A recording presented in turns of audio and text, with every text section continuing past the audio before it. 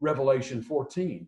These are the ones who have not been defiled. These are the ones who follow the Lamb wherever he goes. That's the key to discipleship. Is not getting God and what's what we're interested in, but finding out what God has a passion for and engaging in that. These are the ones who have been purchased. Notice the language again the buying, the, the, the giving a, a, a high or large sum uh, in order to purchase the freedom of. These have been purchased from among men as the first fruits to God and to the Lamb, purchased from among men.